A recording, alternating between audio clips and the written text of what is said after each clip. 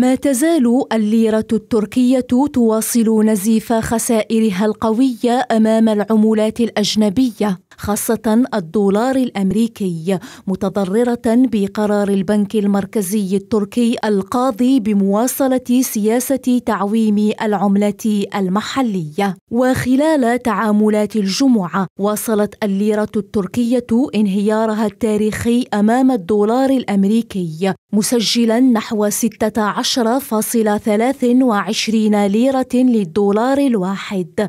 في أدنى مستوى لها أمام العملة الأمريكية على الإطلاق. انهيار تاريخي ترافق مع إعلان الرئيس التركي رفع الحد الأدنى للأجور في تركيا بنحو النصف إلى أربعة آلاف ومئتين وخمسين ليرة تركية اعتبارا من العام المقبل أعتقد أننا سنقطع مسافة مهمة للغاية على طريق تعزيز أجواء الثقة والاستقرار من خلال إجراءات اقتصادية جديدة سننفذها.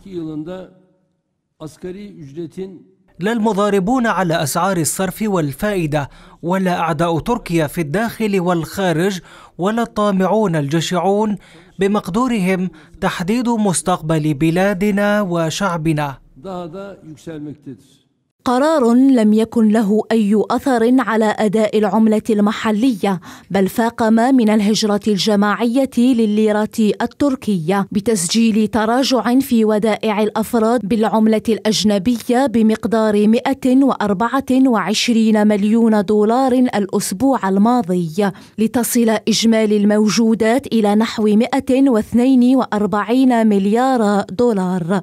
خلال أسبوع التداول المنتهي في العاشر من ديسمبر الجاري باع المستثمرون الأجانب أكثر من 100 مليون دولار في بورصة إسطنبول وأكثر من 54 مليون دولار في سوق السندات.